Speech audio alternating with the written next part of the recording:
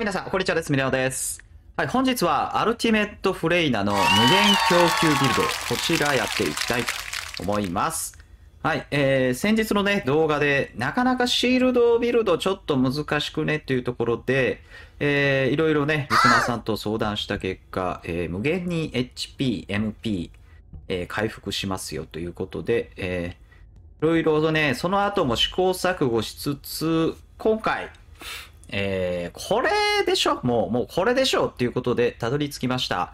で、ただ今回、えーまあ、今回ある程度は、あの、デスストーカー向けなのと、あと、えーどうしても、ね、外装部品を多少は、えー厳選しないとちょっと厳しいかもというところです。ただ、えー他のボスとかでも結構有用なんじゃないかな。うん。これは、これなかなかいいのできました。ということで、ぜひね、ご紹介させていただきたいと思います。えーライブの時より若干変えてます。はい。ということで、じゃあ見ていきましょうか。えっと、まず、あのね、イクシードは、えー皆さんね、ご存知の猛毒投与になります。はい。で、えっ、と、実質これで、まあ、あのね、4番とかね、打つ暇はあんまないかな。今回一応毒耐性だし。はい。デスストーカーに関しては、とにかくこの2番、ね、猛毒投与が第一。そして、まあ、たまにこの1、3みたいな感じでしょうか。で、えっ、と、これの毒素緩和。これが、えー1秒あたりシールド最大回復が5%あります。はい。そして、えっ、と、腐食によって毒耐性が相手にダウンが入りますという形になって、えーこれで無限にシールドを回復しつつ、そして MP がこの分ね、1秒あたり MP 消費量が入るので、その MP 消費量を限りなく、えー無限に回復していこうというビルドになってます。はい。で、えーっと、今回、これね、これもう最近すごいんじゃない？最近すごいな、うっさ。めっちゃシールドばっか使ってるやんってね。あのーどうしても今回のダークストーカーじゃない、デスストーカーに関しては、ダークストーカーって誰や？デスストーカーに関しては、あのどうしても毒が来ちゃうんで、ちょっと HP がね、厳しくなっちゃうっていうとこがあるんでね。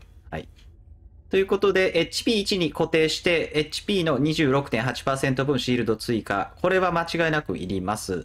で、えー HP をその分上げたい部分もあるので、HP 増大、そして、えーっと、覚醒促進剤で、えー限りなく HP を上げる形にしてます。はい。で、あとですね、シールドが大事になるんで、このシールド量のアップ。そして、えー防御力。この辺はちょっとマストかなうん。で、でですね、こっからがちょっと迷いどころでした。えーっと、大事なのがリソース管理なので、えーっと、ここでリソースコストを下げます。はい。で、今回スキル、えーほぼ使いませんので、マイナスになっても全然 OK。節約極大化。で、大事になってくるのが、私も結構盲点だったこのね、非 MP 回復量。これは、えーっと、外装部品に MP 回復量ないし、敵が落とした MP 回復の弾拾ったら、このパーセント分上乗せになります。えーただこれがね、侮れない。めちゃめちゃ、え2枚刺すと、もりもり回復します。なので、えーここ MP、非 MP 回復量ケースを2枚刺し。これが大事。そして、えーっとね、ここ残りの C2 枚ね、C2 枚。CC、CC ね、CC2 枚。ここに関しては、えー若干、好みになってきます。はい。えー結構食らっちゃうよ。敵の攻撃食らっちゃうという方は、ここに MP シールド、そしてここ非ダメージケース、および先ほどの非 MP 回復の精神勝利。これ二つがいいんじゃないっていう。まあ、俺そこまで食らわでおっさんっていう方はね、あの、この射撃フォーカスだったり、まあこのね、生体同期シールドだったり、この辺じゃないかな。まあ人によってはね、この辺のシールドコレクターを入れたい人もいるかもしれない。この辺はちょっと好みかな。好みかな。うん。まそこまで食らわないんだったら、まあ、ここ減らして、射撃フォーカス入れたら、もうちょっと討伐スピード上がるかもしれないですね。うん。ということで、えー、これほぼほぼあれじゃないっていうね、これまたあの、あれですよ、あなた、いじり倒してみてこれ、こんなことなってるよ、これね。ね、こんなことならないように、ね、無駄に触媒を使わないように皆さんはしてください。はい。で、えっ、と、こっから大事ね。こっから大事。リアクター。リアクターはね、まあ、その先ほど言ったね、あの、消費とかあった方がいいんですけど、まあ、ワンチャン、ワンチャン、なんでもいいっちゃワンチャンなんでもいい。かな、今回は。はい。で、えっ、と、外装部品に関しても、えっ、と、もちろんセット効果等ね、今回のこのシールドプラスとか侵略者ね、とか、まあ、あの、虐殺者でちょっと所持量アップとかね、まあ、この辺は一応入れたんですけど、ものすごく大事になるのがやっぱ HP、えーそしてシールドで、この第2のね、センサーのところにある戦闘時の MP 回復、そして、えっ、と、メモリーにある戦闘中のシールド回復、ここをね、ここ2つはね、黄色欲しいかな。あと、今回の、えーデスストーカーに関しては、お尻、毒耐性欲しいかな。あるとだいぶ楽かなっていうね。うん。はい、とこなんですね。で、さらに、さらにね、めちゃめちゃあの、効率よくしようと思うと、ここの、あの、虐殺者メモリーのとこね、このメモリーのライン、メモリーラインに、あの、非 MP 回復のね、アップがつきます。どっかないかな。あ、これね。なので、本当はここ非 MP アップつけて、こっちに戦時、戦闘中の MP 回復。そして、えっと、ここに、えっと、非シールド回復がつくんで、ここのね、戦闘中シールド回復が生きてくるんで、ここを非シールド回復が本当は欲しい。でもない。ナイス。はい。で、一番上の補助電源はもう HP かなっていうね。HP つけてねっていう。はい。なんで、今回はどっちか言うと、まあ、その、セット効果よりも、この補助効果の方が大事になるんじゃないかと思います。なので、この辺の MP 回復、シールド回復ないと、ちょっとしんどいかもしれない。うん。多少のプレイ、ね、スキルがいるかもしれません。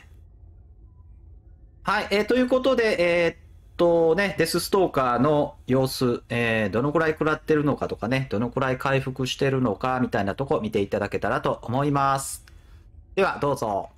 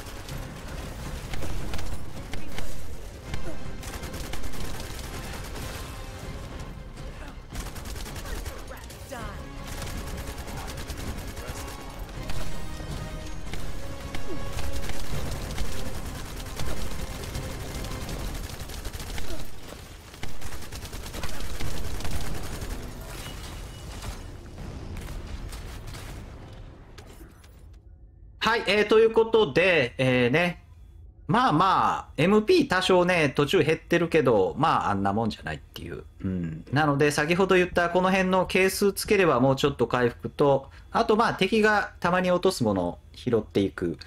あと、これ逆配列、特にね、今回あれしてなかったんですけど、はい、この辺ね、この辺をね、あの、MP とかにするとか、あのね、ここシールド、はい。ね、これ例えばここシールドにしとくとね、なおよろしいっていうね。なおよろしいですね、急にどうしたんだっていう。はい。で、あとこの辺もね、あの、不審の時はいじってると良いかもしれません。はい、えー、ということで今回は、えー、アルティメットフレイナさん無限供給ビルド、えー、ご紹介させていただきました、えー、あくまで私の考えなのでそのあたりはご理解ください。また参考にしていただければ幸いです。いつもご視聴ありがとうございます。また X のフォロー、チャンネル登録をぜひよろしくお願いします。えー、ライブもぜひ来たら遊びに来てください。皆さんありがとうございました。バイバイ。